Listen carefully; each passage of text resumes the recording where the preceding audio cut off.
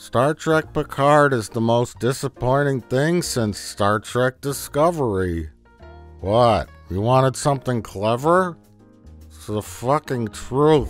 After we are done breaking and entering, would you like to join me in making Leland scream? Yum, yum. Please just, please evaluate the show on its merits.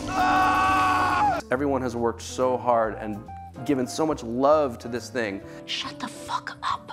This thing is being born of love. Please, please give it a chance. This is for him. Anyway, hey, it's me, Mr. Plinkett. I'm back, and I'm gonna talk about Star Trek Picard. I know these two fat clowns talked about it to death, so I'll try not to repeat too much.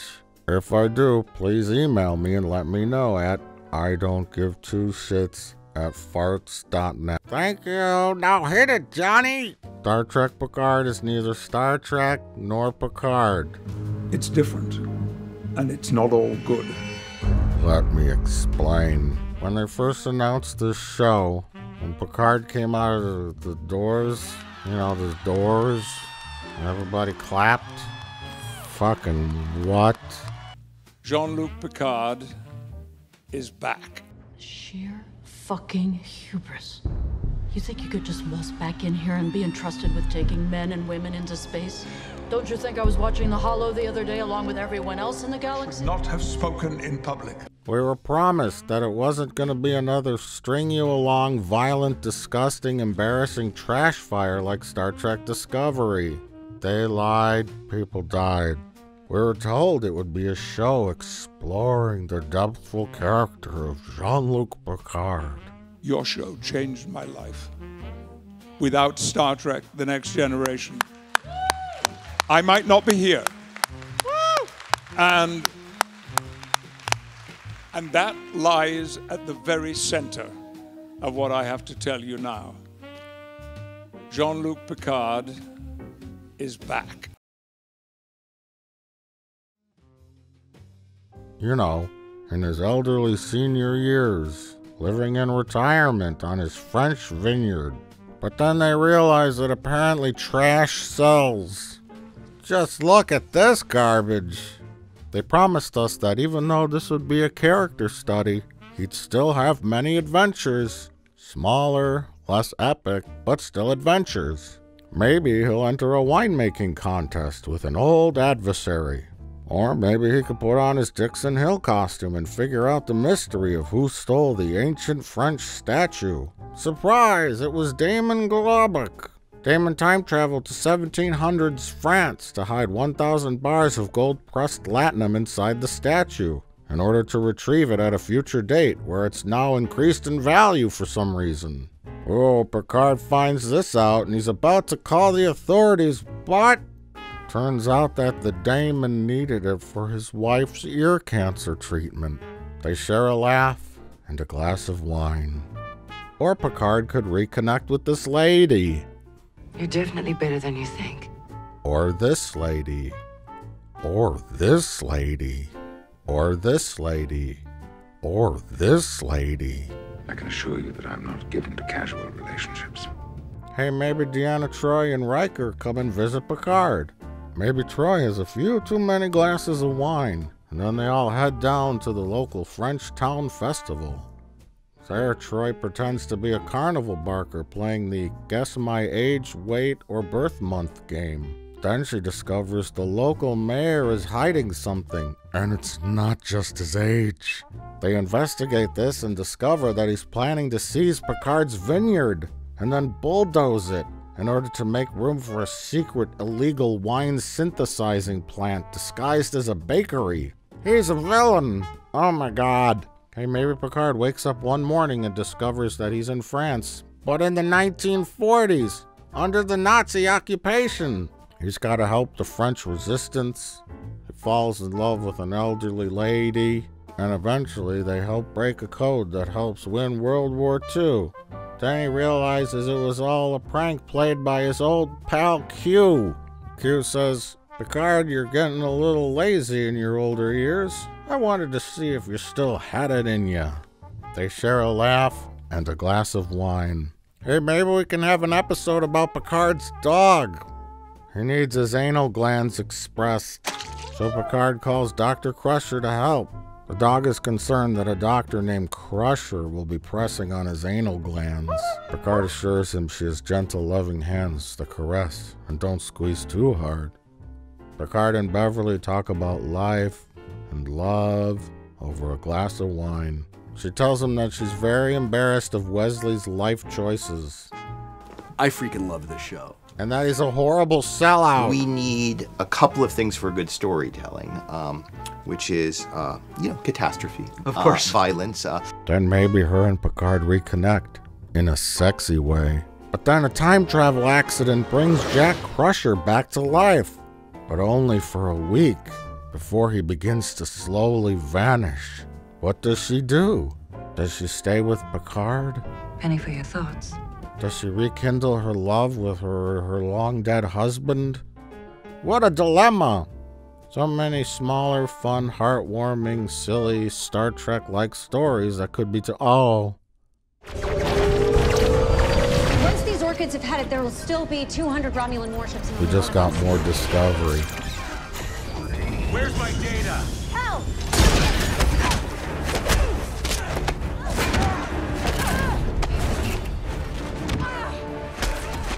More space violence.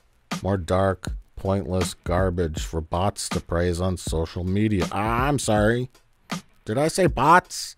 I meant people. Real people, not bots. Why would I say bots? I meant real people. Okay, hit it, Johnny. Number one. The living nightmare is over. For now. Let's recap this shit fest. Picard is old. Very, very old. Patrick Stewart is like 80, but he has the stamina of someone who is 137. I mean, just look at this spry 80 year old. He's gone where no man has gone before, and he just keeps going. Hello, Sam. Hello, William Shatner, who's now really in to electric biking. He's on his 15th divorce. And look at this. Why not make Star Trek Kirk? It could be about him searching the galaxy for the greatest and best fitting space girdle of all. Let me just go and tell Bill about my idea. Oh. Well, um, I guess I could tell CBS about my idea. Oh. Alas, I digress.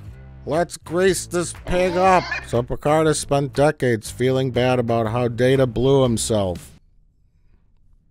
What? Wait, sorry. Oh, oh. Continues on to the next page. Blew himself up. Sorry. Sorry about that. I mean, let's be honest. He did beam Picard out, but his sacrifice wasn't just to save Picard's life. He gave his life to save mine.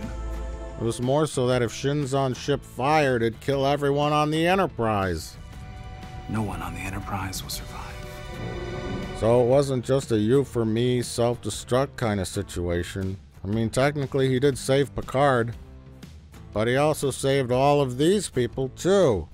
But no one remembers that. And by no one, I mean the writers and producers of this stupid show.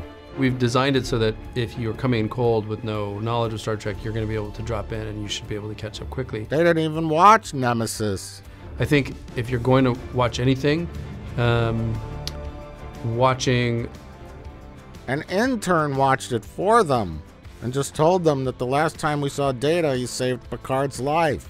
The show is called Star Trek Picard. Whatever. The fact that he thought of Data as not a human being, but as a, a man nonetheless, is part of the reason why he is so haunted by Data's death, by Data's having sacrificed his life for Picard.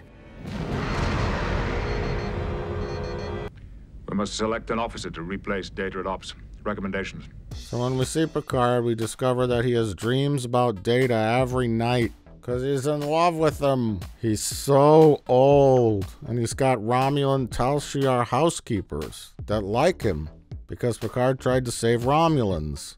He needed Starfleet's help to get Romulans off Romulus. Because it was going to get destroyed by a supernova created by J.J. Abrams.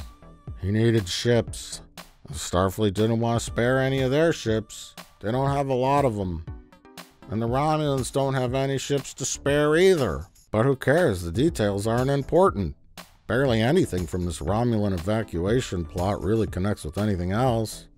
I mean, it sort of does, but it's more of a setup or a backstory for a larger story about nothing. I guess the story is about the redemption of the worst actress in the world. I can't put anyone else in danger. I don't want anyone else to get hurt, Mom. Mom, I'm so scared. Who is it? I'm in here. I didn't call maintenance today. Oh, okay. The second worst actress in the world. You see, what's really important on this show are the characters. Uh, the great, one dimensional, I mean, depthful characters. Like, uh, Raffi. Uh, Raffi had a son who doesn't like her, which we discover in one episode and, and then it's never brought up again. He doesn't forgive her at the end and decide to let her be a grandma to his, his baby. And then Captain Rios. Captain Rios, um, he lives on a starship. Then there's this character. And this character, he has a sword. And, uh, he wants to help Picard, or he just really likes fucking cutting people with a sword. I guess he was mad at Picard because Picard left him when he was like five and then didn't come back till he was like like 20 or something. Elnor? So he was really mad at first, and then he wasn't mad because he thought, hey, this is a great opportunity to kill people with a sword. What a great character. And then there's this character. Oh. Oh, literally. Oh, that's what you think about when you see that character. Oh, and then there's uh, Narissa. Narissa and Narek. Narissa. She's pretty depthful. Let me peel away the layers of depthfulness to her character. Well, there's there's evil. Uh, uh, I guess that's it. Anyway, let's move on. Number two, the story. Basic movie storytelling says that in a good script, no scene should be wasted. That's so interesting. No line of dialogue should be unmotivated. Burnt tomato. Every action should push things along, explain something, or have some importance. Then we have something like Star Trek Picard. But wait, you say, Star Trek Picard is a TV show. No. It's essentially a 10 hour long movie. We pay admission to watch Star Trek Picard, and each episode runs into the next. So if it weren't for the stupid credits, it'd be one long movie. You know, our show, really the first three episodes of the first act. You know, Yeah. so you really, the pilot is really the first three episodes. Um, Technically, it's a 7 hour and 28 minute long movie when you remove the opening credits, the end credits, the previously on, and on the next Star Trek Picard. But anyway, none of that's really very important. So I don't know why I brought it up. So what's this movie show about? What's the message? Never again kill somebody just because it's what they deserve. Ultimately, what I got from the first season was something so simple and childish, my cat could have wrote it. So the moral of the story was, um, mortality? I gave you a choice. Not being the destroyer was up to you. Or choice? It always was. Or learning not to fear the unknown? Or Brexit? The wrong side of Brexit.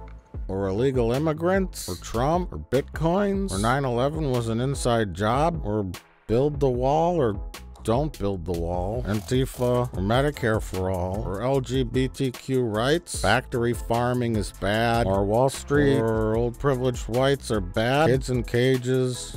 Capitalism, socialism, vegan rights, insurance companies are bad, motorcycle rights, pipelines, no pipelines, free range chickens, buy local and organic, stop big pharma, climate change, rainforest is burning, is Australia still burning, coronavirus, elder abuse, stock market, I don't know, something. The lesson that I learned was to fucking fear people that were different than me, and that gays are psychopaths.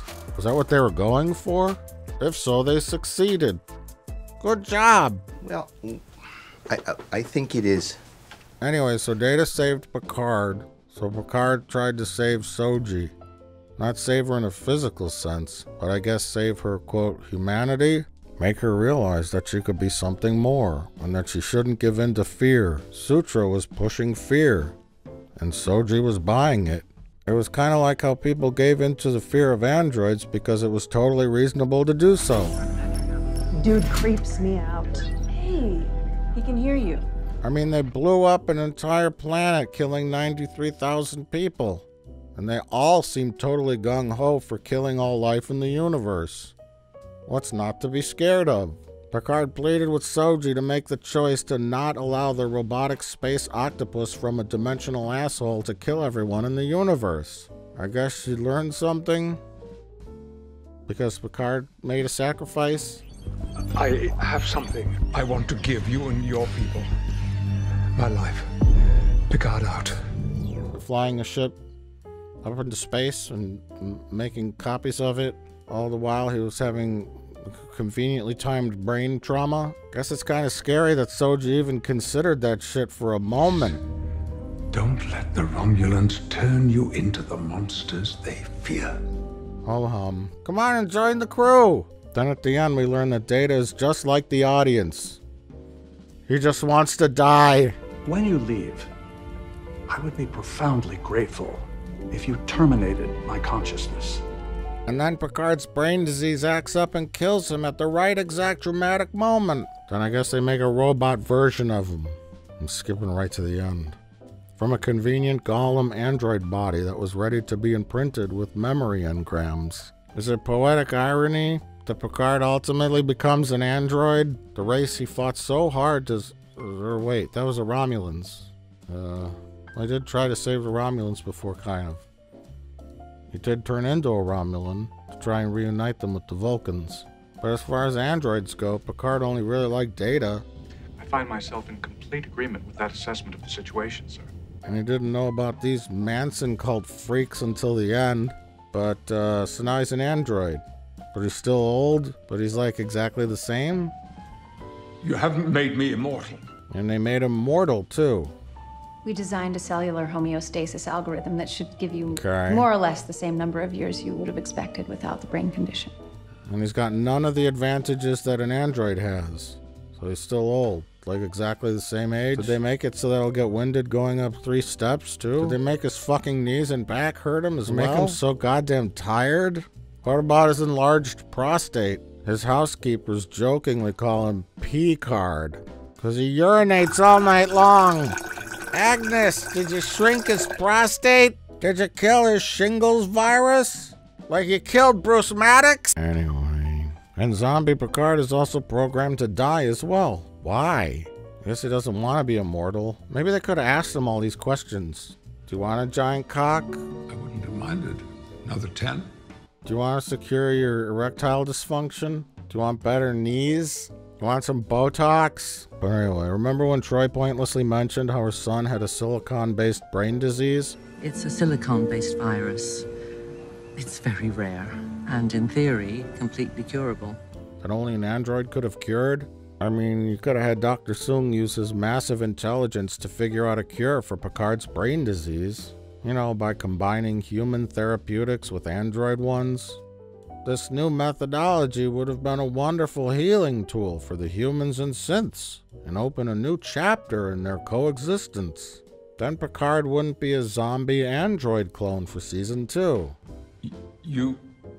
Eh, whatever. Jesus, you'd think Troi's comments were at least a setup for something.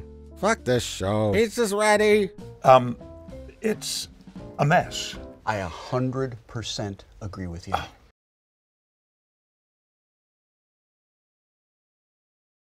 Number three. The end is the beginning.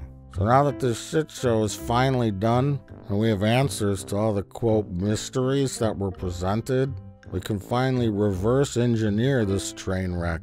So let's jump from the ending back to the beginning because now we can. Without doubt, Dahj and Soji are the central point of this show. They or her are the reason for all the conflict that make this plot limp along. So basically, we start off the show with this scene. Ugh. By finishing the season of the show, we understand that the Vash want one and only crucial piece of information. Gotta kill the synths. Where is that synth homeworld? Apparently, that's where all the synths are in the galaxy. So then the Romulans can find it and carpet bomb it. But wait, does this robotic, evil octopus get upset by the existence of synths made by other races too? Applying a variant of the Drake equation, it would probably result in maybe a hundred or a thousand other races having made androids or currently making them. Fuck, maybe a million other races. The galaxy is a very big place. Would carpet bombing Soong Jr.'s little planet really stop this space octopus? What exactly is the range of a space octopus? Like a quadrant? Or, or the galaxy? Or the universe? Cloud composition, Mr. Spock. 12 power energy field. 12 power? Thanks, Spock. Thanks for telling us just how big the V'ger cloud is. It helps me to understand the threat. That measures 12 power energy? Thanks, sex pervert. Thousands of starships couldn't generate that much. Oh, wait, wait, wait, wait.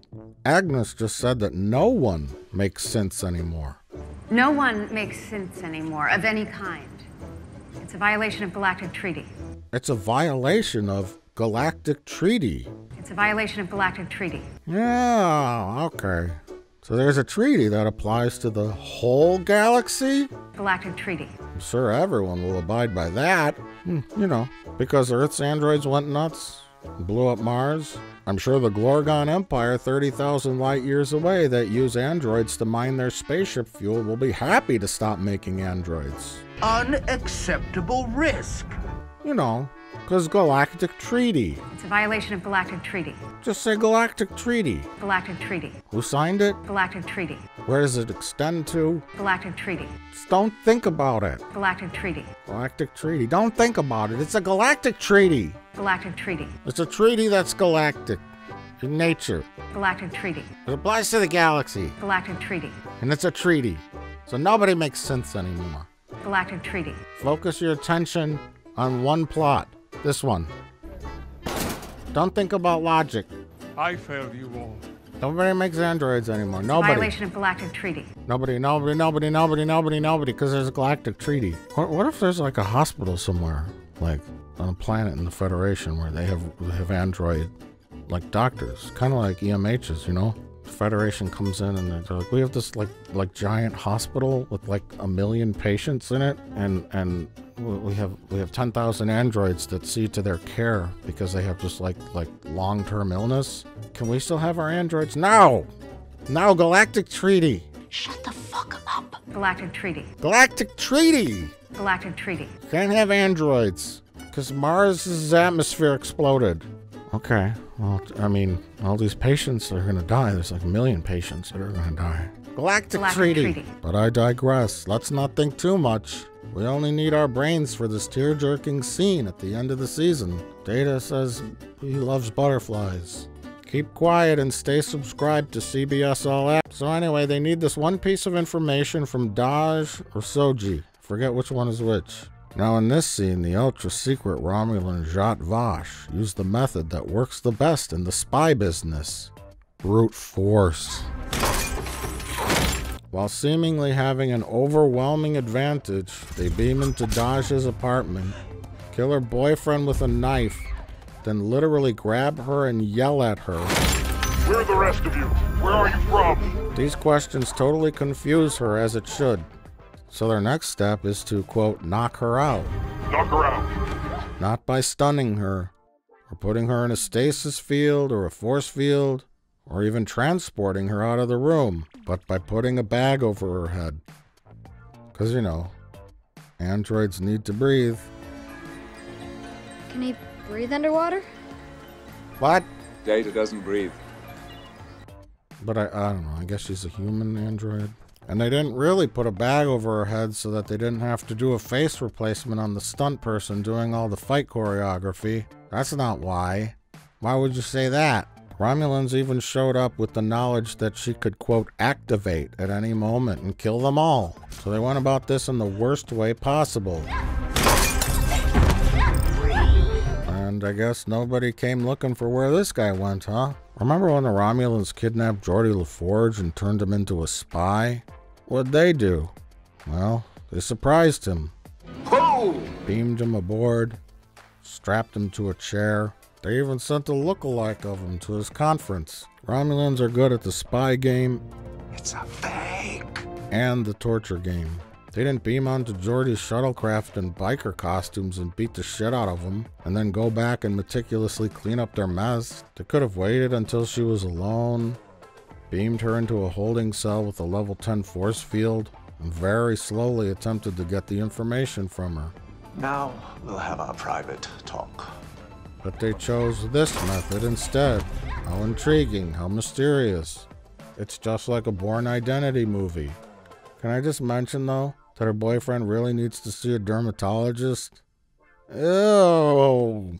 Later in the show, Captain Rios tells us of another incident with the Tal Shiar or Zhat Vash or whatever, and with the synths that happened years before this. And this was at the direction of Commodore O, even, the fucking leader of the Zhat Vash.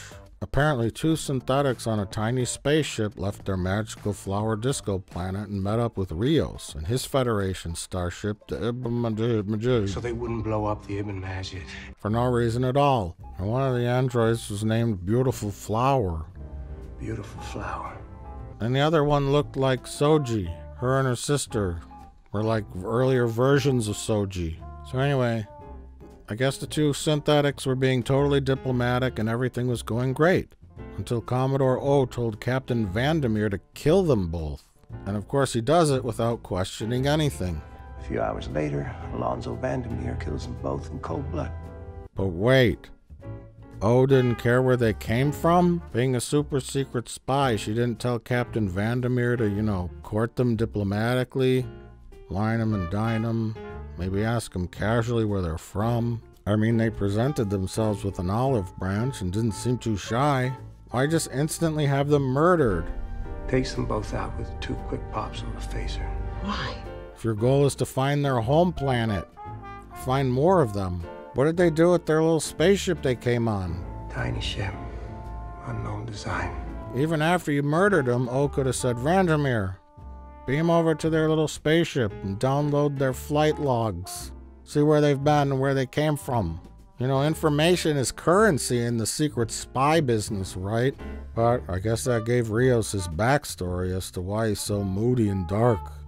Space Jim Morrison needs to grow a pair. Riker didn't seem bothered at all that him and his old captain killed their entire crew on accident. Look at him playing his trombone, laughing, hosting card games, being a total slut. I mean, come on, Rios, get over it. What the fuck is wrong with you? This also leads to a bit of information that these two androids or synths or whatever were created by Bruce Maddox and Soong Jr., the son of Noonien Soong we never know he had. Presumably, these androids were made on the disco planet, right? False. Maddox. He left Earth right after the ban. No one was able to find him for 14 years. Maybe he went to this planet with the two red moons. And resumed his work creating synthetic life forms. But in episode 3, when we meet Maddox, he says the Tal Shiar destroyed his lab. When the Tal Shiar came for me, blew up my lab. He says they used a molecular solvent to destroy the entire lab. They used some kind of molecular solvent to destroy the entire facility. There was literally nothing left. Okay, so is this a different lab than the one on the disco planet? These were Maddox's old quarters. Yes. Was it also a different lab than the one where him and Agnes were baking cookies? I assume that was at the Daystrom Institute. Remember, Agnes said that's where the synths were created that destroyed Mars. The androids that destroyed Mars came from this lab. But if his lab was destroyed, there's no evidence of that. Everything looks fine to me. Which lab? Where was that at? So Maddox, in addition to working with Soong Jr. on the Disco Planet when he was in hiding, also had another robotics lab somewhere else besides Daystrom? But you see, Soji was created 37 months ago. Probable age 37 months. Which is like, what, three years? Probable 37 age, months. 37 months. 36 months is three years. Probable age, 37 months. So yeah, three years and, and one month, roughly. Probable age, 30. 37 months. Probable age, 37 months. 30 Okay. age, Girl, 37 fucking months. got it. Probable age, 37 months. 37 If you could stop Probable scanning age, everything in the room now. months. 37 months. It's gonna come up 37 months. Probable age, 37 months. The next thing you scan, it's gonna say Probable 37 age, months. 37 months. Go ahead, scan Probable it. age, It's gonna say 37 months. Probable age. Okay, I got it. months. Why does she still have all this childhood shit? Why does she still have a teddy bear from when she was four? So Maddox made her three years ago on the disco planet with other children of Data. Because they made twins from one of Data's neurons. As Agnes explains. His theory was that Data's entire code, even his memories, could be reconstituted from a single positronic neuron. So Maddox was there, he was here, and he was at a lab that was destroyed by the Tal Shiar or the Zhat Vash or the whatever. Jesus, this guy really gets around. How hard would it be to just follow him around in a cloaked ship? Let him lead you to the robot planet. He's apparently not that hard to find. Bruce. This is so unexpected. Bruce Maddox is on Free Cloud. Free Cloud, yes, of course. Maybe do that instead of orchestrating a synth ban by creating a giant terrorist attack. The Zhat Vash are terrible spies. But wait, there's more! After her boyfriend is killed and after she killed the Romulan assassins, Dahj flees her apartment. Imagine if she had just called the cops or whatever authority figures would come to her aid. She'd be like, Look, why didn't they beam up the bodies? Whoever's doing the beaming, why didn't they beam up the bodies? Take off their biker helmets. Oh my god, they're Romulans. Call Starfleet. Call an emergency meeting of the Federation Council. Romulans are doing secret spy shit on Earth. Get their gear and analyze it. Get your best tech guy in here. What? They made secret subspace calls to Commodore O? But instead she flees. Like true film noir. I mean, Star Trek. I guess she fled because the whole incident really spooked her, but she also fled because she saw a vision of Picard. Now, why did she see a vision of Picard?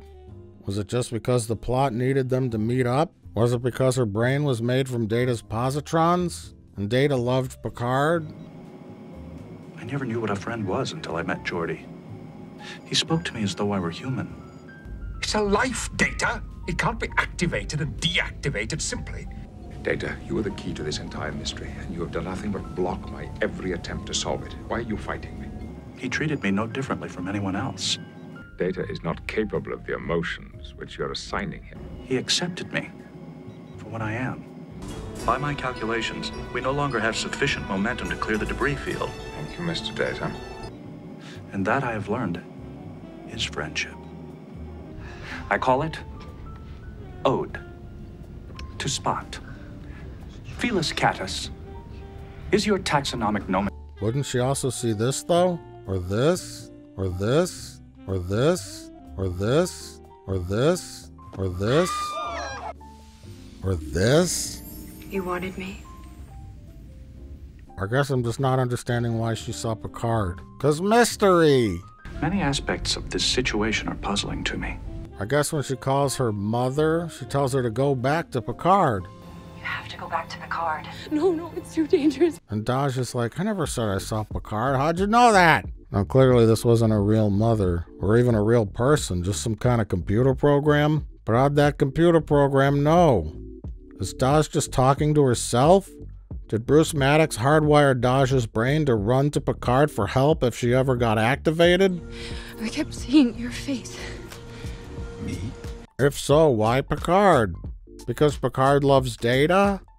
Maddox met Picard like 40 years ago and he was his adversary. I don't understand the connection. Oh, it's because it had to happen in the TV show. She's activating! She's activating! How about if Dahj ever got activated, her brain is hardwired to return to the home planet for a debriefing? Do you remember when Noonien Soong put that hidden program in Data and Lore's brains to return to him if he ever activated it remotely? Data turned into a super badass and hijacked the Enterprise in like two minutes.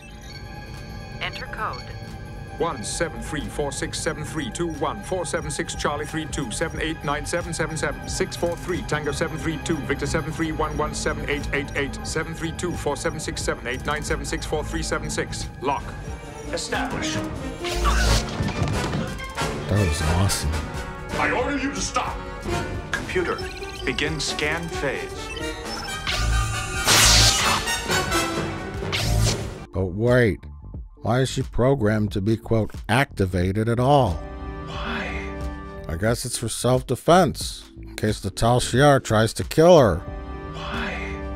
See, Maddox says he sent Soji and Dahj out into the galaxy to find out the real reason behind the synth ban. Same reason I sent her sister to Earth. To find the truth. The truth about what? Why? The ban. I'll tell you the real reason. It's because synths went crazy and blew up Mars. But he thinks there's something more sinister. They're hiding something. Who? Don't know. Like maybe something about a robotic space octopus? Or he's not quite sure. Her lies upon lies. Why would he think there's anything more to it?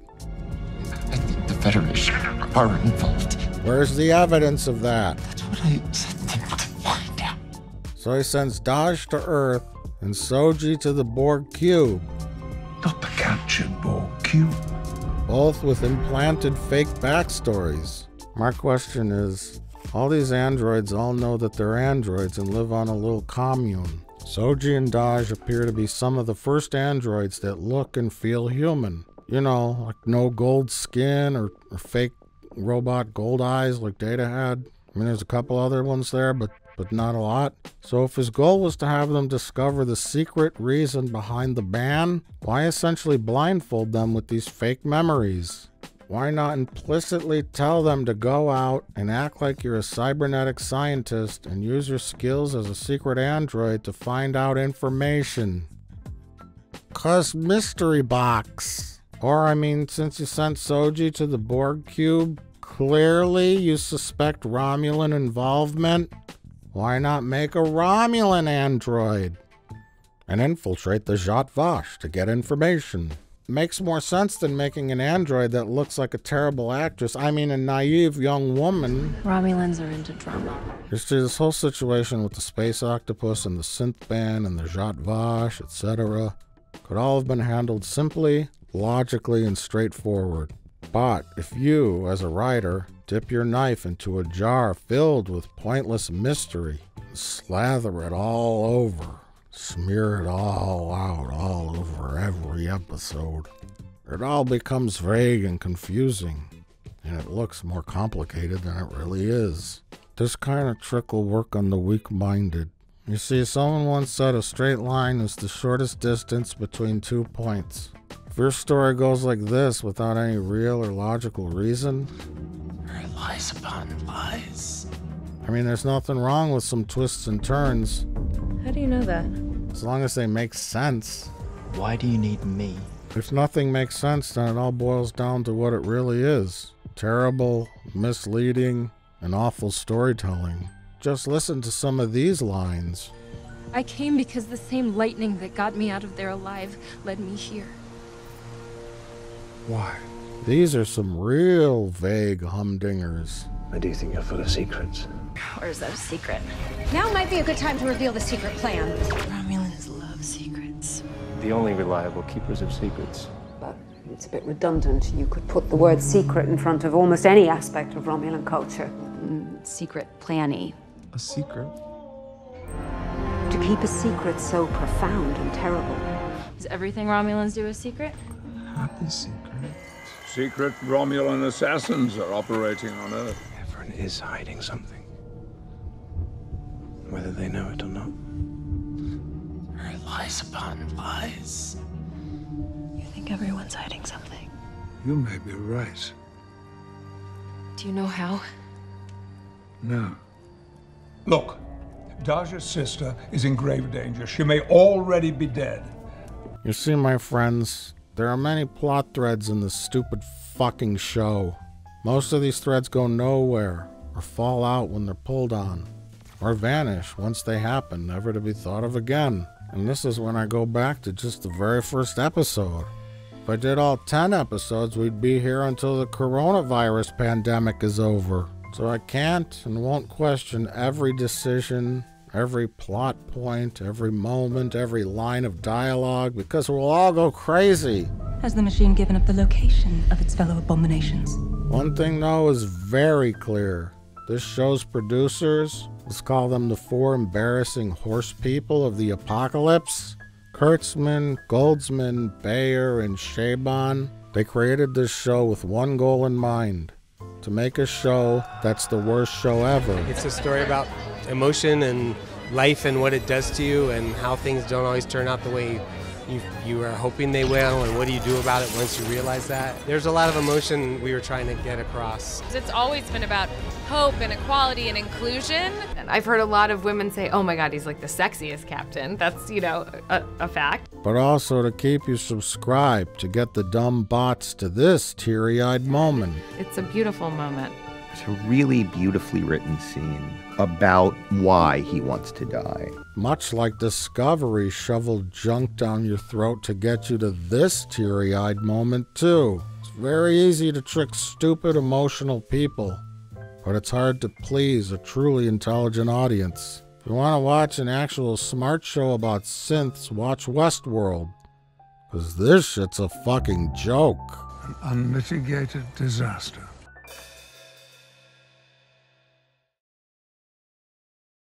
Number four, let's wade through this jacuzzi filled with diarrhea. Now, I understand that a lot of you watching this review may not have actually seen Star Trek Picard, so I'll go through it quickly, very quickly. But I don't have time to explain all the Star Trek stuff, so if you're a little confused, I'm sorry. Go read a book or something. These two people who love him very dearly are able to point out to him that in dealing with Soji, he's never been a father before, and he's really bad at it. And he's treating Soji like a, another officer on his ship, and he's no longer the captain, and she doesn't work for him. And This isn't just a very long drought, is it, Father? Or get a life. The Romulans and the Synth Ban. Okay, so the Romulan sun is going to go supernova. Romulans have traditionally been the bad guys, so most of the galaxy said good riddance. If the point has not yet been made clearly, Commander, let me make it again. Romulan warships do not enter Federation space unless they are prepared to do battle. But Picard says, hey, let's help them. So he does help. He takes a bunch of Romulans to a dusty Wild West planet. And I guess a, a first wave of, of evacuations? Yes, of course. But in three days, I have to be in Central Station to meet the next convoy. Because then they later say that they're building more ships for the evacuation on Utopia Planitia. So I guess Picard did it once. So I guess there's a second he needed to wave do it of again. the Evacuation's maybe coming a third some time. time. What will this mean for our mission? Will it continue? Of course, it must. Because Picard befriends some Romulan warrior nuns that we never see again, and also a kid for no reason at all. Later, when the kid is all grown up, he pledges his sword to Picard's mission, which means he does nothing but murder people pointlessly. Then he abandons Picard for another hopeless cause, which is to protect Hugh. I guess he really likes hopeless causes. Hopeless causes means he gets to murder people with the sword. But wait, Picard already had ultra efficient assassins that vowed to protect him. Oh, I guess they stayed home to keep an eye on the grapes. No one but the Tal could ever protect you against the Tal She's not wrong. But you have to stay here with her. The grapes are far more in need of protection than I am. And it's less than a month to the harvest. Why wouldn't they? Oh, fuck it. But then synths attack Mars at the worst possible time and blow up the shipyards building ships that are meant for a Romulan evacuation. They hack the brain of this robot synth right here, and he tells all the other synths to kill everyone and blow up everything. This whole plan was done by the secret half Vulcan, half Romulan spy Commodore O, who somehow is the head of Starfleet security. She burrows into Starfleet, rises through the ranks, and becomes head of security.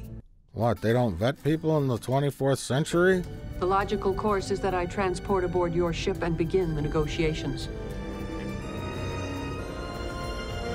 What? That's spy. Also, after so much time, Picard decides that this is the crusade he must go on to save Romulans. What the hell was he doing when Starfleet put the stamp of approval on slavery? Now, sooner or later, this man, or others like him, will succeed in replicating commander data. Not if we use synthetic labor. All synthetic life forms are banned throughout the Federation effective immediately. Now, the decision you reach here today will determine how we will regard this creation of our genius. It will reveal the kind of a people we are, what he is destined to be. It will reach far beyond this courtroom and this one android. It could significantly redefine the boundaries of personal liberty and freedom, expanding them for some, savagely curtailing them for others.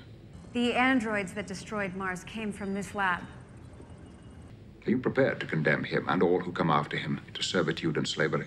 Not if we use synthetic labor.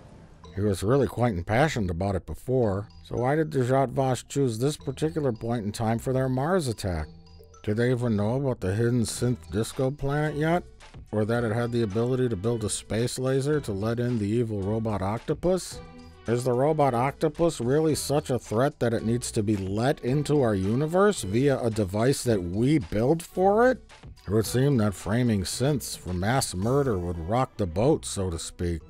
Maybe even get the attention of the evil robot space octopus. Why not just quietly look for the secret synth planet? It wasn't too hard for our heroes to find Bruce Maddox. I found Maddox. He's literally sitting in a public place. This lady found him too. This is so unexpected. The lady that looks like Deanna Troi. But wait, why not just use your super secret spy agencies to wipe synths out? Why frame synths for murder when you can just hack into their brains and literally make them kill themselves? Why, instead of attacking the Mars Utopia Planitia shipyards, they didn't just attack each other? Tell the synths via a robot communication into their brains that they should shoot each other. You know, like they did on Westworld? So doing this big, horrendous 9-11 style attack created the synth ban. Wouldn't that just force some synths into hiding, which would make your job more difficult? Which is exactly what happened? Did the octopus not care about the mindless slave synths? Also, I mean, I know the Romulans are by nature secretive, but given the stakes, why not share this information about the evil space octopus with the Federation? Be like, hey guys, this terrible fucking thing could happen if we all make a bunch of synths. How about we stop doing that? Just look for yourselves, okay? There's this electrical ring on this planet. And maybe you could kind of build a device that touches the laser instead of grabbing it by your hands, which, which makes you want to claw your fucking eyes out or shoot yourself in the head. Some kind of Starfleet technical genius could figure out how to download the information that's in this electrical ring. You know, because grabbing it is really fucking dangerous. Hmm. I wonder how it works.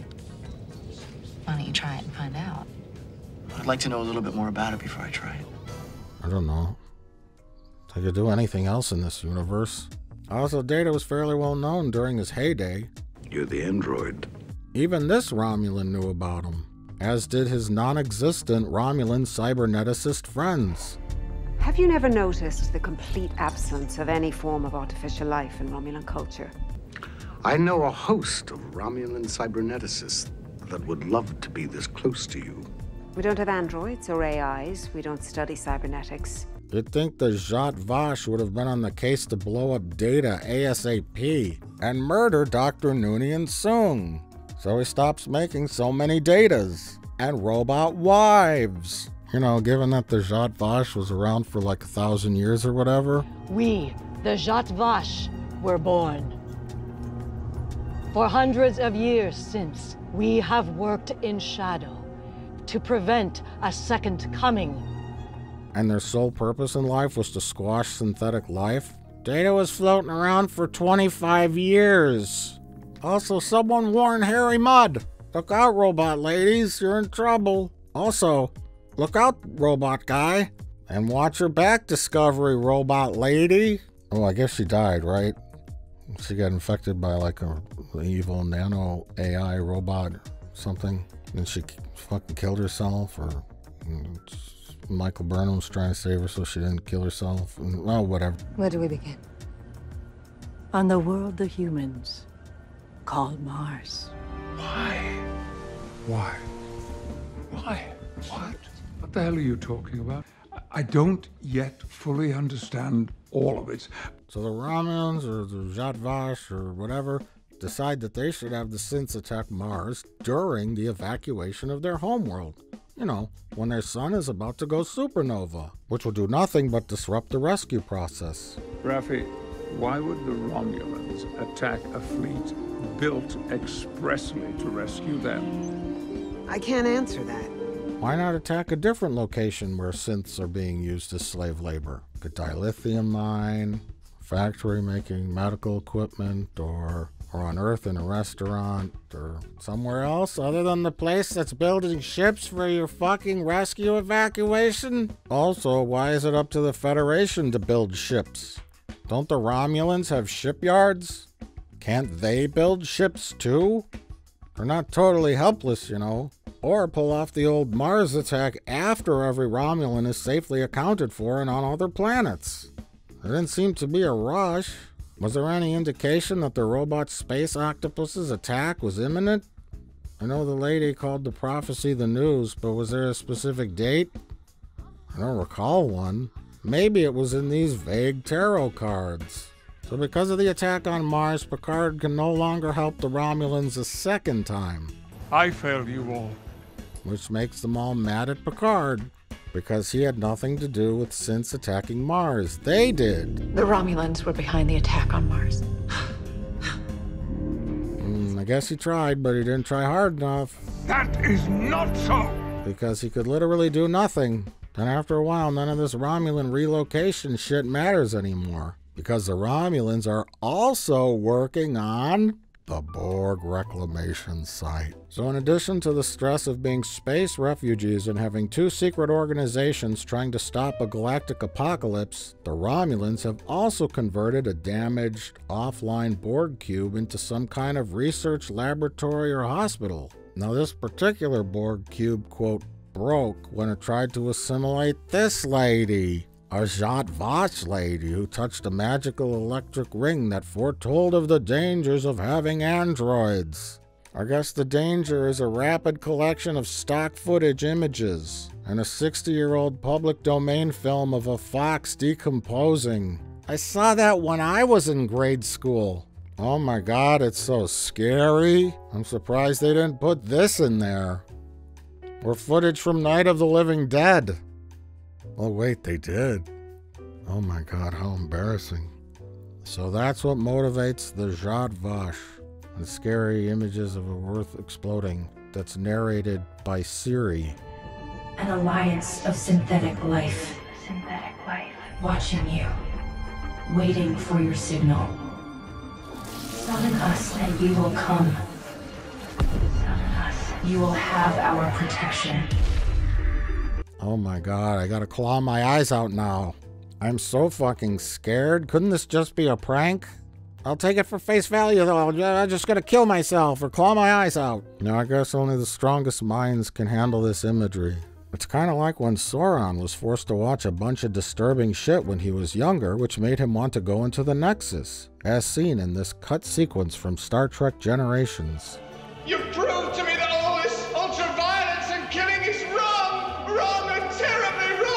But as it turns out, this electricity ring wasn't meant for people at all. It was meant for androids. Fascinating. It was to tell androids what a space octopus would do to people if those people that made the androids made them in the first place? What? It's like androids are great, kill all the organics. What a twist! So, what's the purpose of this Borg reclamation project anyway? At first, it's a little confusing. At second, it's a little confusing. Finally, at third, it's totally pointless and confusing. It looks to be a general philanthropic endeavor. In fact, a former Borg and human is in charge. He's the director of a Romulan project that's top secret. I would never have believed that assimilation could be undone on this scale. And by Romulans, no less. I guess it's not top secret because it's sort of in cooperation with the Federation. Access is for scientific research only. And maybe other worlds too? We see all kinds of people working on this thing humans, Andorians, the Irish. What?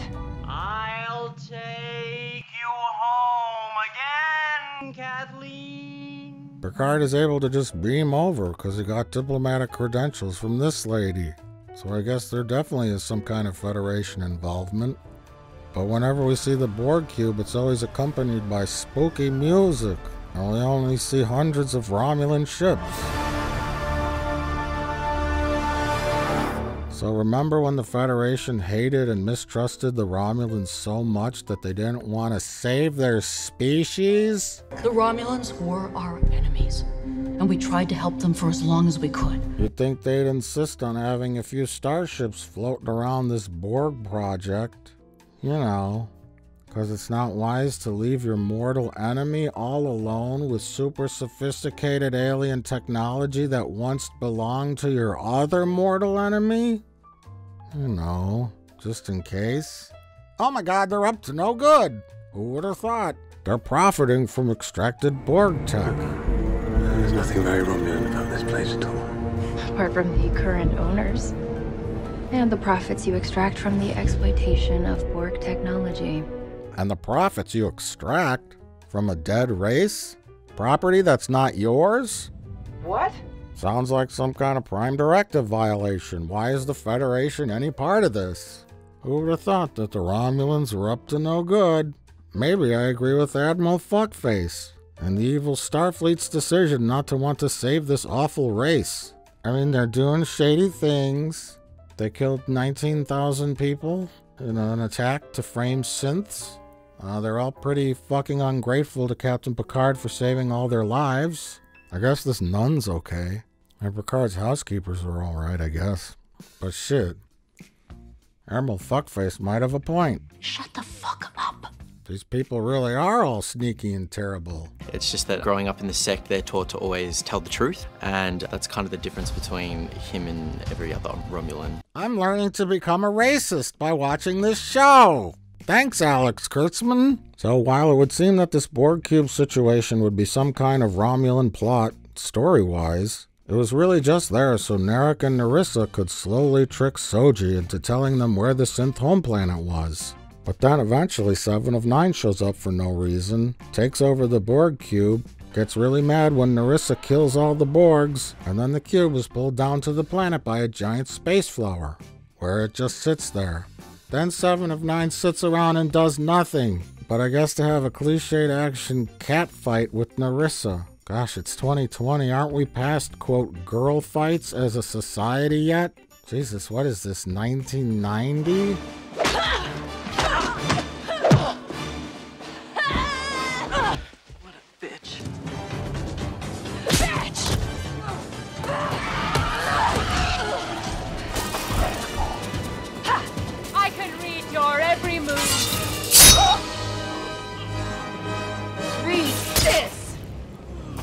Bitch. One of the great strengths of Star Trek is diversity and powerful women. It just comes naturally to this universe. It's all about the optimism that you can find when you think about humans, which sometimes can be tricky to get to, but in the context of this universe, you're just optimistic. That aspirational side of it has always been amazing. Just put a phaser to my head and get it over with. I guess she was mad that Narissa killed Hugh, which is why they fought. This to live for. This is for Hugh. Although I'm not sure how she knew that. Maybe somebody told her, maybe the psycho guy told her with the swords. I honestly think they forgot to shoot a scene where she was told that. I mean, clearly this line was added later in post. This is for you. Just watch Seven of Nine's mouth when she begins her line. This is for you. So I guess her being angry about Hugh dying gave her motivation for murdering Narissa too? Did Seven of Nine even know Hugh? That was a different show. I guess she learned a lesson at the end because she tells Rios that killing people for revenge is bad. Never again kill somebody just because it's what they deserve. Thanks, I learned that in sixth grade. So then, when Seven of Nine kicks Narissa off a cliff, letting her fall to her death, She's killing off another either former or potential future lover. You know, you're rather pretty. She'll have to be lesbian with the elderly drug addict. Wasn't Seven of Nine lovers with Chakotay? And other men on Voyager too? And Raffi had a son, so I guess being gay really is a choice. Just like all those Christian pastors told me. Or maybe when women reach a certain age, they just switch to lesbian. Hmm. I always thought it was the way you were born. Gosh, this show is teaching me so many things. Like being gay is a choice, and also to fear and hate people who aren't like me. But wait, maybe they're bisexual or pansexual. Maybe mostly everyone is bisexual in the future. Certainly Wesley was. He was in love with Ashley Judd and this creepy old guy. I've waited a long time for this moment, Wesley. And Riker fell in love with a person with no gender at all. Commander, there are no he's or she's in a species without gender. Maybe it's like a human evolution thing, you know? Two, three hundred years from now, I'm into genderless creatures. Now, when I turn 50, like seven of nine, I'm gonna fall in love with an elderly black mm, lady. And then now seven of nine's done with that. Maybe she's gonna go bang Rios. As, as long as nobody is into kids. As long as the evolutionary process doesn't go that way, I'm alright with all of this. You got it? I mean, things could have gone real bad when Picard was trapped in that elevator. I'm sorry if this is really fucked up. So, you know what? I'm going to propose a challenge to Kurtzman, Chabon, Beyer, and Goldsman, or whoever's working on season two. Here we go. Ready? Make Picard gay! You're a cutie full of charm. Do it, you fucking pussies. Do it. I double dog dare you. I know he's like an android now, but he's a humanish android. Everything works. Like Soji was, was fucking Narek, so I mean, it's not like Data, even though Data was fully functional, but these, these new human androids can fuck. So make Picard gay. Bring in Ian McKellen and have him and Patrick Stewart be super gay. I have ideas. I could totally think of another use for a bottle of Chateau Picard. Don't be passive progressive like Disney and make pointless lesser characters gay. No one gives two shits if Seven of Nine is a lesbian, or these guys, or this character. Fucking good for them. Go for the fucking gold. Make your main character gay. I dare you. Do it. Make Captain Picard gay, you fucking cowards. Or, as someone might say, make it so gay. Engage.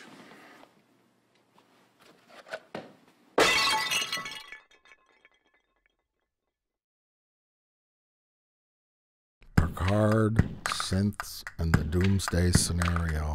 So our last chunk of the show deals with Picard and the storyline with Soji, Dahj, and Data, and Picard's ultimate fate to pointlessly become an android zombie clone. Now this felt slapped on, but I don't think it was. If you look closely, it's predicted in the opening credit sequence. We see the two data positrons, and they slowly turn into a DNA strand, and then start to form Picard's eyeball, and then finally construct Picard's head. He's broken down, dies, and is resurrected. He's the real space Jesus. Take that, Darth Vader, you fucking fraud. Anyway, Soji and Dahj are twin sisters because they have to clone synths from DNA in pairs. We see lots of twins on the space hippie planet. We meet Sutra, the sister of Jana, who was the synth that Rios' former captain murdered. I guess this is why she's a bit pissy and doesn't like people. Yeah, it makes sense. So Maddox's plan to send out Dahj and Soji does indeed attract unwanted attention. I warned him that his plan might draw unwanted attention. What a plan! Sutra convinces Soji that organics are bad and that she should eradicate all life in the universe so that these synths can live in peace. Soji eventually agrees and says, Sure, why not? Robot space octopus, let's do it. Then all plot lines finally converge. Our heroes put a bomb in a soccer ball in a bungled attempt to blow up the tower about to shoot a blue laser into the sky that will let in a robotic space octopus through an interdimensional asshole. Earlier, Picard persuaded Admiral Pottymouth Fuckface to send a fleet to the robot planet, which eventually she does, and it's led for no reason at all by Riker, who looks like he ate a few too many pizzas. He doesn't even fit in the captain's chair. He's got to lean on one side because he's got hemorrhoids. Anyway, when he addresses the Romulans, he says he's acting Captain William Riker. Acting Captain Will Riker in command of the USS Zheng He. Why did he have to say acting captain to her? I guess he's got to be all formal and by the rules, you know, because he's not still officially in Starfleet or he's on reserve or something. He's got to be sure to tell the Romulan fleet that he's acting captain. They don't even know what that means. It sounds like he's he doesn't know what he's doing. He's acting captain. It's like I'm I'm intern captain. Stand down, Romulan war fleet. I'm I'm I'm the acting captain. I'm not even a real one. That'll get you shaking in your Romulan space boots. Conversely, out of 10 million Romulan ships, why does Commodore O have to be in command? Why does she even answer the view screen? General, their flagship is hailing us. This totally blows her cover and she's exposed as a spy. General or Commodore or whatever you're calling yourself. She probably spent decades working up to the head of Starfleet security. Why not let somebody else talk while she hides in the bathroom? You know, just in case? Because Riker immediately calls her out on it. Why not let this guy talk? Anyway, Riker tells her he's on the bridge of the toughest, fastest, most powerful ship Starfleet has ever put into service. Looks to me he's on the bridge of a recycled set from Star Trek Discovery. But anyway, his flagship is the same ship as all the other ships. Jesus Christ, how lazy is this show? I mean, they made one CGI model and copy pasted it. I know this is another nitpick, but I don't care. Starfleet is not a bunch of F 18 fighter jets. It's an exploratory navy, essentially. I mean, back in the original series, they had nothing but the Constitution class ships, really. I mean, I get it, they had to build models and could probably only afford to build one. But even when they were still doing Star Trek with physical models, they understood the need for different types and classes of starships. Starfleet wasn't a uniformed war armada or an attack fleet. Huge fleet movements weren't very common because the ships were spread out all over the galaxy. You know, seeking out new life and new civilizations. Some ships were science vessels, research ships, escorts, ships made for diplomatic missions, ships made to tow other ships. It's like a real navy, which is why in the Dominion War you have a whole mess of different ships involved in fleet actions. Certainly, Miranda class ships weren't meant for war. I mean, clearly. But even though Starfleet ships had offensive and defensive capabilities, they all had to be used in the war out of necessity. I don't know, maybe in 20 years Starfleet changed so much that it just said, let's make a fleet of nothing but one uniform type of warship. Fuck it. My guess is that the show was cutting costs by using one model, and they thought that the crying internet bots wouldn't notice. I'm sorry, did I say Russian bots purchased by CBS to post fake comments of praise? I meant to say real people. I keep screwing that up for some reason. So anyway, it's come to this, and I'm shocked there wasn't a huge battle. I mean, there kind of was with the flowers, but it wasn't very exciting. Then Riker literally says, I'm gonna kick your ass. Nothing would make me happier than you giving me an excuse to kick your treacherous Tal Shiar ass. Uh, I don't even know what to say about that. It makes total sense that you're angry.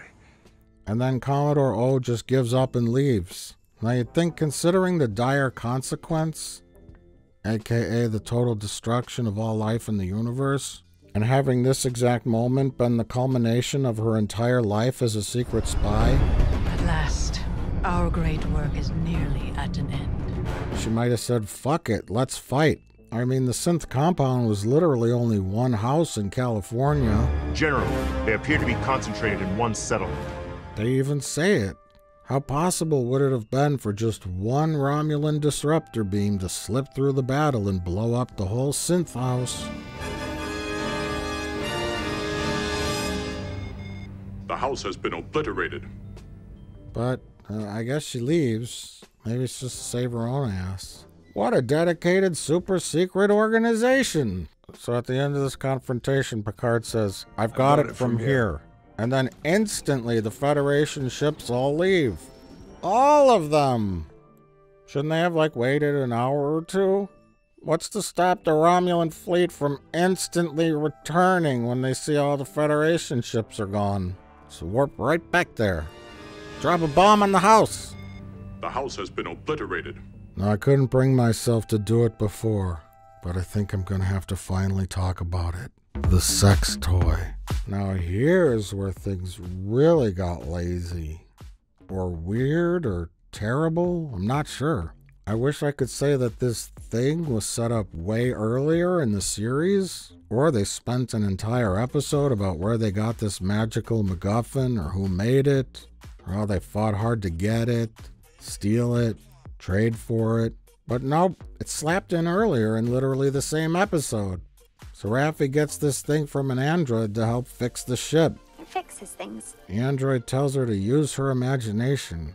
You have to use your imagination. So we're to guess that this is some kind of weird alien magical device that's beyond our understanding, and that we could use our mind's eye to magically fix things or or do anything. Ringo puts the device on his hand and turns the vibrator on and says, "Fix my ship." Then I guess instead of putting it back into a safe place, he randomly leaves it on the control station for anyone to find later. And what do you know? Agnes finds it. Conveniently, right after Picard says the only way to stall the Romulans is to make their ship look like they have a hundred ships.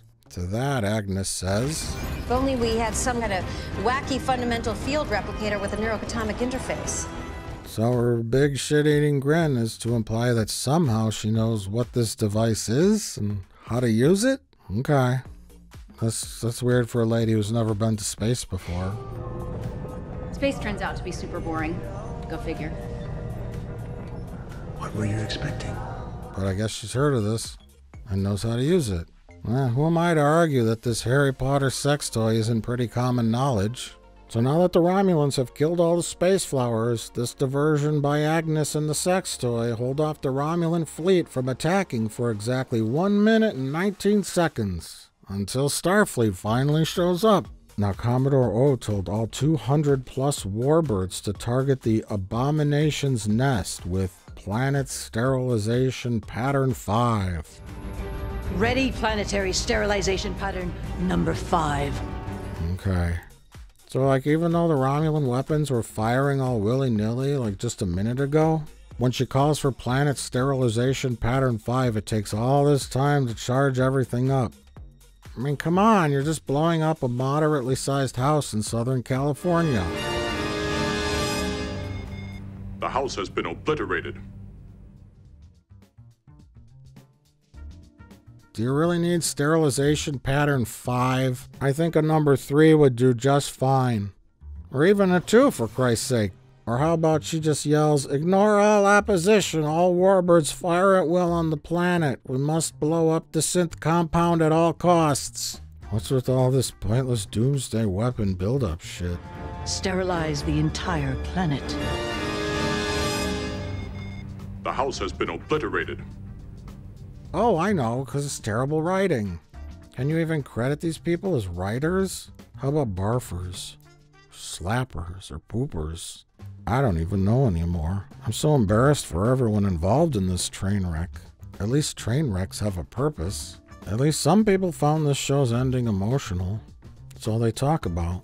The cheap emotional scene with Data. Oh, did I say people? I meant bots. Kind of ironic, isn't it? The show's biggest fans are robots impersonating people. Uh, listen, I mean, just for what it's worth, as somebody who's in the audience, uh, who is invested in it, um, I'm loving it. It's great.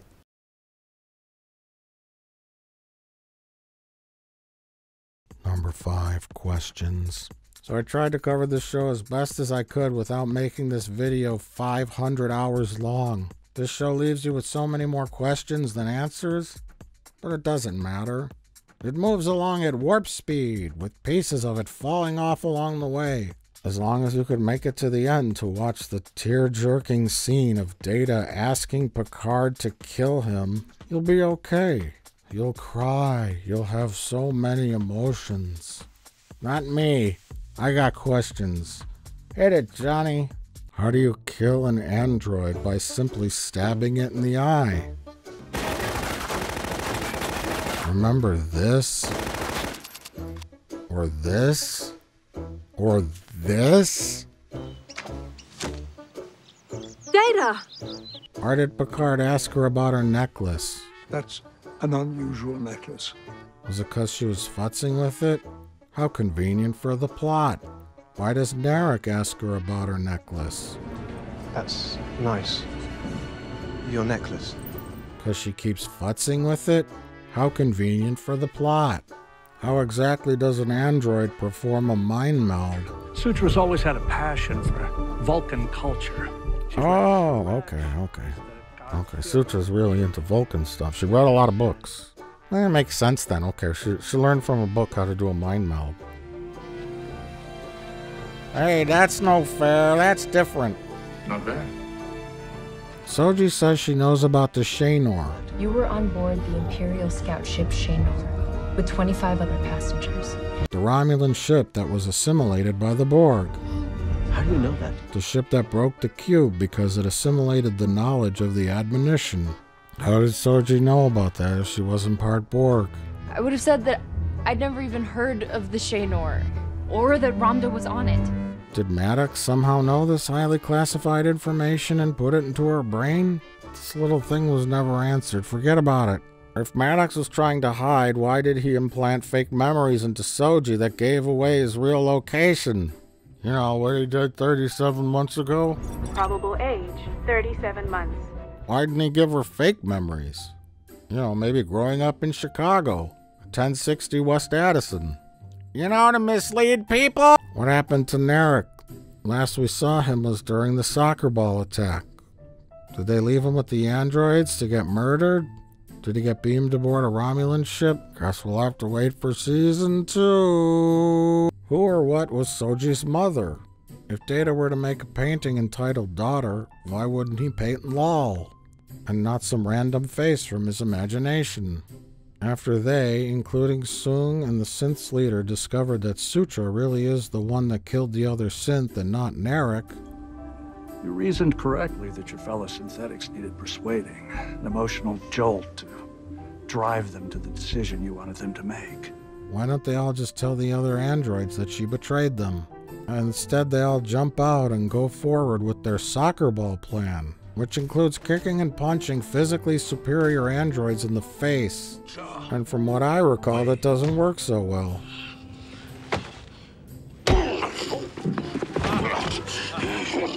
Why is the location of 10 Forward in Picard's dream not where 10 Forward is? 10 Forward is located on deck 10, forward, like the exact front of the ship. Did they not know that's why they call it 10 Forward? Oh, who am I kidding? Of course they didn't. When Dahj exploded, Picard got thrown back and possibly concussed. He's 150 years old. Why was he not taken to a hospital? Why does this guy sound like he's about to take these people on a Disneyland tour? Morning and welcome to Pop Cycle 9834. What kind of Romulans say good morning? Please keep your hands inside the cart at all times. If Romulans have shown that they could beam into a room and surprise people instantly to kill or attack them, then why did the Romulans come into Picard's house one at a time through the door? I guess you're going to tell me that Picard's house has some kind of shield over it. Shields up. Perimeter scans to max. They killed the alarm. Take him. Then why didn't his dog bark at them? If you were dangerous, then number one would let me know. And let's do the pop. They killed the alarm. Take him. If they could put Picard's brain into an android brain, then why did they have to store data onto disco flash drives? In fact, how were they able to preserve Data's consciousness? His theory was that Data's entire code, even his memories, could be reconstituted from a single positronic neuron. Uh, what? An essence of him Essence, yes. would be alive. How the fuck does this shit work? Shouldn't they have a coming and going area? You know, like the subway? What happens if you walk into the thingy at the same time someone is coming out? Do you get Tuvixed? I mean, okay, it's kind of neat that transporters have evolved into this quicker method of travel, but the production design on this is way too illogical and nonsensical. When the Borgs flew out into space, Seven of Nine was so upset. Doesn't she know that Borgs can survive in space? Hey, that security camera footage looks an awful lot like the actual clip from the show. How lazy and embarrassing. I mean, what? They could. Uh, uh, oh. Silence! Silence! Um, let's move on. Nothing to see here. Picard is different now, and Star Trek is different now. Now, I'll acknowledge a few things that I didn't put into this review. I tried to just discuss this show on its merits alone the writing and the story, the terrible choices they made, the style, etc. The, the the story you told this season, how you view it as a as a mirror or a lens to look at what's happening in the world right now. Disgusting thing. Once they get the Borg inside them, there is no coming back. No matter what they think, defiled is what you are. Damned, cursed. I did not want to get into the whole backstory, the drama, the alleged disastrous production. What I do know is that they asked Patrick Stewart and showed him an idea, and he said, pass. We have had Michael Chabon here. We have talked with Akiva Goldsman, and they both tell charming stories about what a hard pitch it was to convince you to put Jean Luc back on. Mm-hmm. Then they came back at him a second time and said, Tell us what you want to do. Was there anything coming to this project that you were like, I don't want to do this as Picard, or there's the, I don't want to see this in his story? And he was like, Okay, no Star Trek Enterprise. I'm not the captain. None of that annoying Star Trek talk. I did strongly make the point that I did not want to be in a uniform hmm. at all. Make it nothing like Star Trek at all. Let's make it about Brexit, because that's the most important thing in the world, right? The wrong side of Brexit. It's happened, mm-hmm. and it's going to be horrendous. To everyone? This will sound pompous, but I, I, in a way, I think the world needs Star Trek right now. No one will be talking about anything else in 2020, right? How about you make me Space Jesus that saves the universe? I love myself. And of course, you can't have Star Trek Picard without Picard, so everybody said sure and kissed his filthy old ass. And he's the most generous, the most giving, the most grounded. I mean, he elevates all of us. It's just a, a gift. It is. I had, I had only watched Star Wars. I'd never watched Star Trek at all. How much Don't- Voyager did you don't. watch, by the way? Uh, that's so unkind. Did you watch Next Generation before you went into Voyager? So, um, to answer your question, My future advice that no one will listen to is this. When they launched Star Trek The Next Generation, it was from the mind of one man who cast actors to fill roles and writers to write the scripts. Don't let the actors run the show or tell the creatives what to do. I understand you are an executive producer on the show. It had one huge advantage, which was the writer's room. It's the best place to be. Well, I had never been there before. Um, I knew what happened in it, and I saw the end results. Actors are generally uncreative people for the most part. I mean, there's some exceptions. If they have the clout, they'll make a show about how they're a tortured space Jesus who is selfless and worshipped for saving the galaxy. You see, actors become actors because they love themselves and they love to hear themselves talk. They love attention, they think they're important, and they want the world to know how talented and amazing they are. Oh, God. I guess you better not make Star Trek Kirk. Cancelled due to coronavirus. Number six, to conclude. I can't watch this shit anymore. It's all just so sad that this is the legacy of Star Trek The Next Generation. One of the best shows ever made. In my opinion, all the wrong people were put in charge of new Star Trek. They all seem so disconnected, smug, and generally stupid. It's the story of Picard. It is the title. Uh, it is his character journey that is the actual journey of our show. um, and we get to take the time to do it, it- which is not to say we're without plot or many things blowing up now and then. I get this feeling that they have disdain for the older Star Trek audience and want to shake things up. It literally sickens me. I mean, Deep Space Nine wanted to shake things up, so to speak, but they did it in an intelligent way, telling smart science fiction stories with morality lessons. Would one of you mind telling us what's going on? This settlement was founded by the crew of a Starfleet vessel that crashed on this planet two centuries ago. I realize this is going to be hard for you to accept, but that ship was the Defiant. Two days from now, when you leave here, you will be thrown back in time 200 years. You'll be stranded here and become the founders of this settlement. We are your descendants.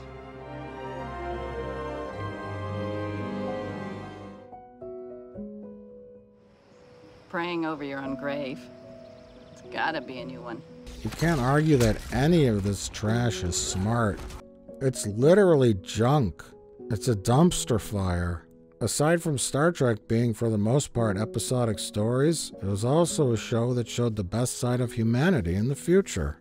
Sure, there was some violence and some horrible things happen.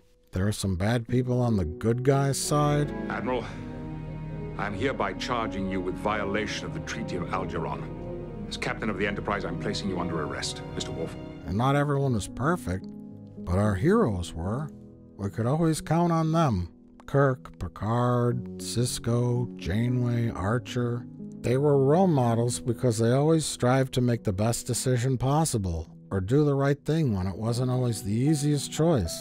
They were role models because we looked to them to make a moral decision. Ah, well, now we're all a little less secure in our moral certitude. To lead a team of people out of a sticky situation, to solve a problem, or debate a moral quandary. With Star Trek Picard, there's literally nothing to get out of it. It's kind of a muddled mess of what the message is. Feels like more of a random role playing adventure game where everybody shoots at each other, or drinks booze, and is angry. The world of Star Trek was always a world you used to want to live in. People made their own Star Trek bridges, dressed up in the uniforms, created 3D computer renderings of the inside of the Enterprise, transformed their homes into Star Trek homes, their cars into shuttlecrafts. There's even the Star Trek original series set tour that faithfully recreates the old Enterprise. I can't imagine anyone ever wanting to live in this dreary, dark, and nihilistic world.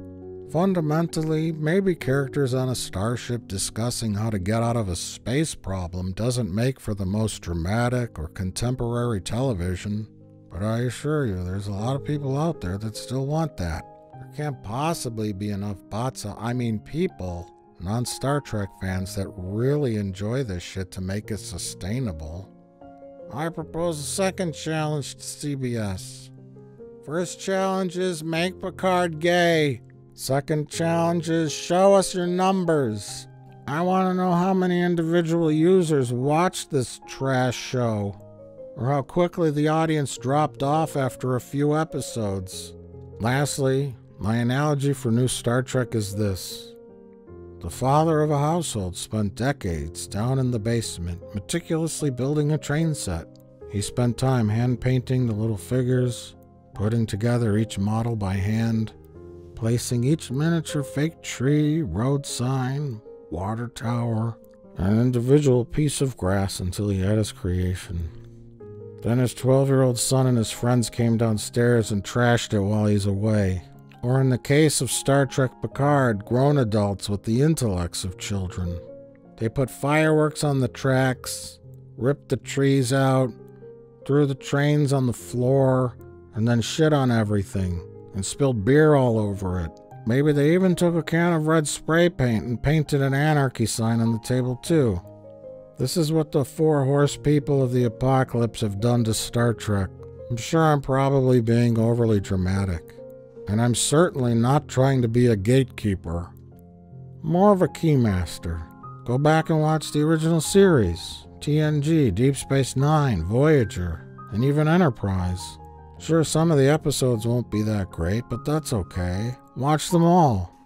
But watch them on Blu ray or DVD. CBS All Access doesn't need more allowance money to buy fireworks and pot and beer for its teenagers making their TV show. Cut 'em off. Watch something else. Now, everyone, I'm going to leave you on a less depressing note. I'll let these guys and gals do their thing. Hit it, Johnny.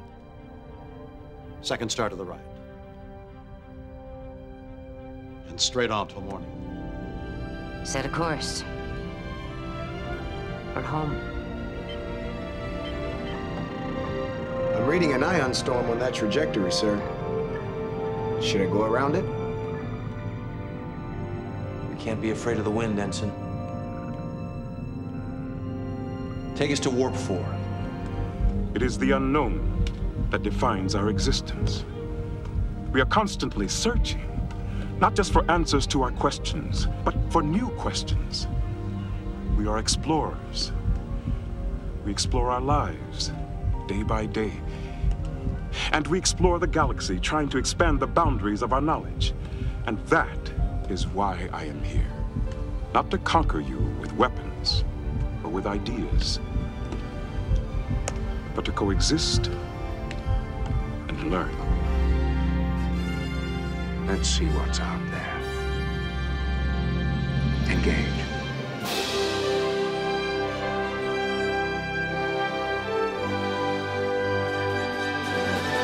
Shut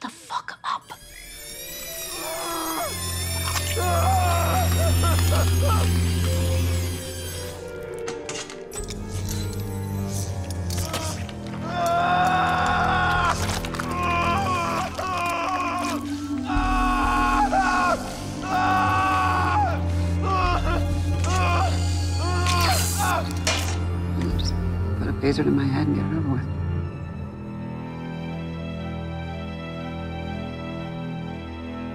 That's when he put the phaser in his mouth and pulled the trigger.